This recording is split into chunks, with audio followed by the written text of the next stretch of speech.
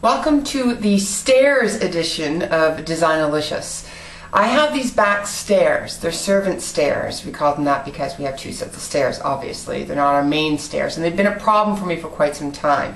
They had thick red carpeting on them, and my dog's hair would always go on them.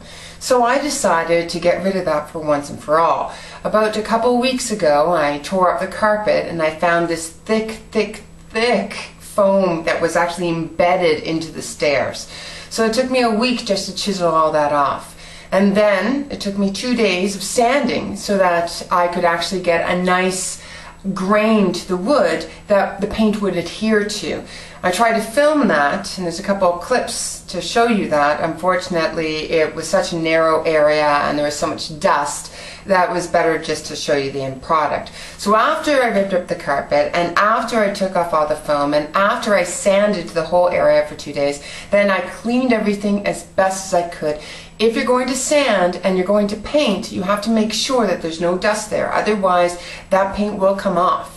The other things that I had to make sure of is because it's such a small area, I had to make sure that it made the place more open instead of making it darker. So when I chose my paint, I made sure that it was slip resistant, so no high glosses or anything like that. And I made sure that the colors, if it scratches off because the dogs or whatever, would wear well, as well as not make the, the area seem smaller than it is. So all that being said, here is the end product. Now, with these stairs, what I've done is I have created the faux runner look. And it was it was a it was a call for me to do it because I wanted them to look a little bit more complicated than just painted stairs.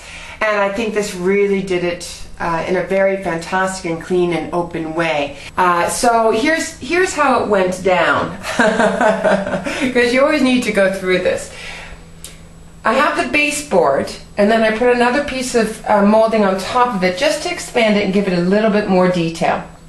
I then continued the white paint through the baseboard and about six inches in.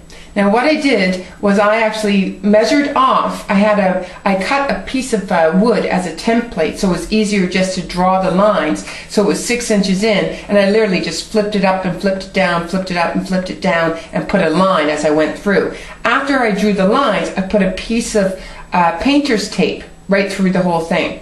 That's when I did all of the white first and then I did the gray and I didn't worry about the black.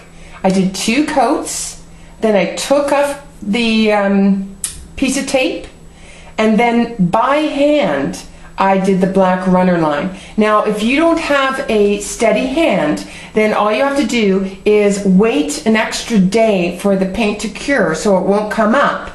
And you can put tape on either side and paint in the middle. But this does not have to be an exact thing it just has, you know, there's a couple of bumps here and there. People will not notice the small things, but if you don't have a steady hand, make yourself a stencil by putting the tape on either side. Now there's two coats of every color here just to make sure that um, it really goes into the wood and that if it chips off, you know, uh, it, has got a, a steady uh, base. And I think it works really, really well. Now, let me tell you a couple of reasons why this actually works for us, but it might not work for you. One, we don't have any children, so we don't have to worry about anybody falling down or running down these stairs. That being said, my husband and I probably will run down the stairs and fall down them, but we won't feel bad about ourselves. So, and our guests don't use these stairs either. So it's a very safe bet of not having to have a runner you might want to consider doing something like this and then you can pick up uh, um, slip resistant pads. They can come in clear they can come in black they can be paintable but have something on there so that if you do have children their socks are not going to just slip right off this and you know you're not going to feel bad at the end of the day. This project was not a weekend project. I ran into a lot of problems. I had to do an awful lot more sanding. The house was a mess because dust went everywhere, even though I had made sure that everything was taped off. Evidently, not exactly sure. So, when you do this project, make sure you have time to go all the way and, and finish it off as well as the cleanup. This took me about four days. Now, one of the problems I ran into was the floor. So after I make myself a new shirt, because I think this one's had it, we're on to the floor.